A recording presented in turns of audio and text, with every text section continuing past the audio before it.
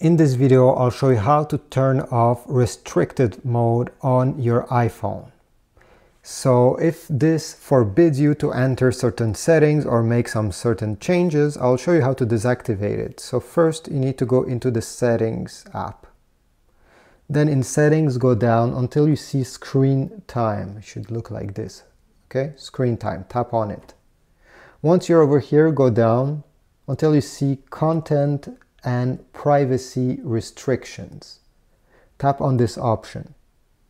And usually on top, under content and privacy restriction, it should be turned on since you encounter this problem. So just tap on this toggle to turn it off and it will ask you for the passcode that you set for the screen time. If you know it, just go ahead and type it.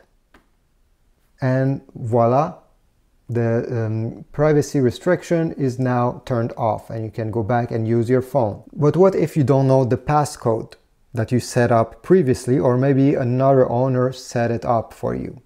Well, go in settings and go, go uh, at the same place, screen time. Once you're over here, you're gonna see change screen time passcode, okay? Tap on this. And then you have two options and you should get forgot passcode over here. Tap on this option. And now it will ask you to enter your Apple ID, the Apple ID associated with this specific iPhone. So I'll go ahead and type mine. Okay, this is my Apple ID, then press the OK button on the top and now you have to enter the passcode of this Apple ID. So I hope you remember your Apple ID passcode. It's obviously different than the passcode that you use to unlock your phone. This is the one associated with your Apple account. So go ahead and type it.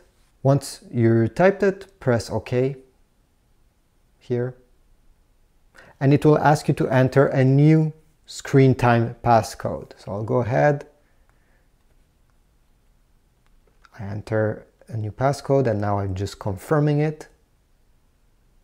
And now all you have to do is to go in content and privacy restriction and tap the toggle. It will ask you for the passcode and now you know it because you just created it. So here we go.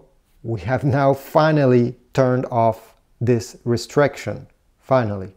So now you can use your iPhone the way you want without any kind of restriction. So I hope this was useful. If so, please leave a like, comment down below if it worked for you. It's always nice to know when it happens and I'll see you in the next video. Take care.